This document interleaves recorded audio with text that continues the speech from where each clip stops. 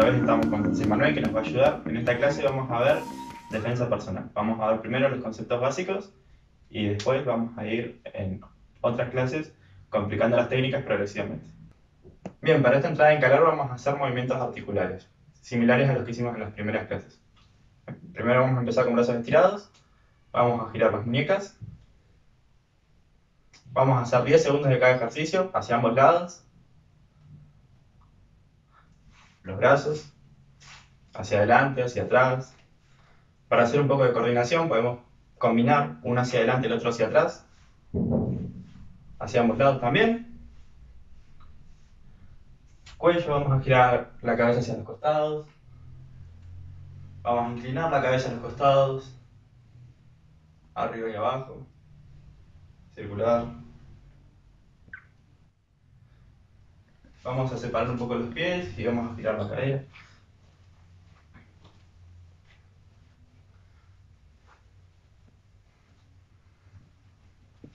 Vamos a levantarnos de los pies, si queremos nos podemos apoyar.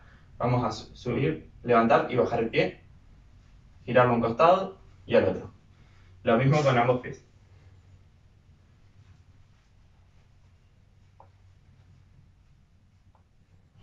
Y por último vamos a poner los pies juntos y vamos a flexionar las rodillas. Lo mismo lo podemos hacer con las rodillas separadas. Bueno, como ya dije previamente, en esta clase lo que vamos a intentar lograr es eh, la defensa personal. O sea, lograr escapar o evitar alguna situación sin llegar a entrar en conflicto con la otra persona.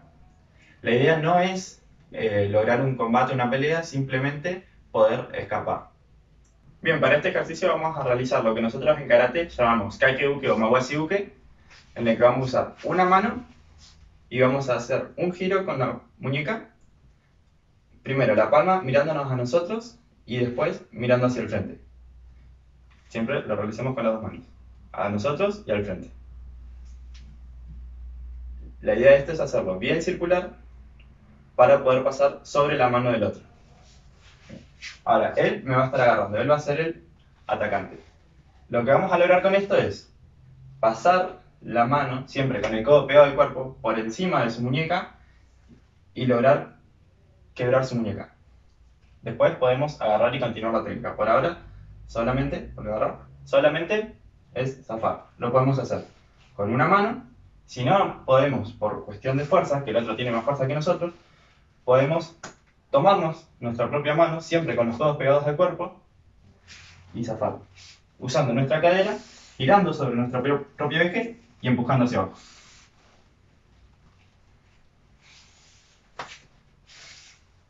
Bien, continuando con el ejercicio de agarre, lo que vamos a hacer ahora es aprovechar la fuerza que va a aplicar la otra persona. Esta situación se puede dar en un forcejeo, por ejemplo. Nos van a agarrar, cuando nos pueden agarrar, lo que suele hacer la otra persona es pegar el tirón. Lo que se suele hacer, el que está siendo agredido, es girar hacia el otro lado. En este caso vamos a hacer justamente lo contrario. Vamos a ayudar a la otra persona a tirar hacia el lado. Cuando él nos tire, nosotros vamos a irnos hacia ellos. Podemos meter el hombro, por ejemplo, y con la pierna golpear con la rodilla a los testículos.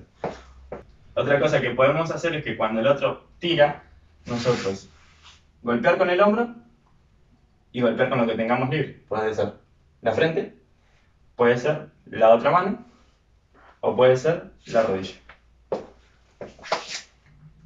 Bueno, para el siguiente ejercicio vamos a cambiar un poco el agarre ¿sí? de la otra persona. Vamos a simular una situación en la que nos van a agarrar desde atrás por los hombros. Nosotros vamos a realizar una especie de uchiuke a la inversa, desde adentro hacia afuera. Abriendo la mano con la otra mano vamos a hacer lo que ya veníamos trabajando indirectamente anteriormente, que era higiate eh, hacia atrás, o sea, un golpe de codo. Llevar el brazo hacia atrás, lo más pegado al cuerpo posible y hacia el centro de la espalda. Combinando los dos sería algo así.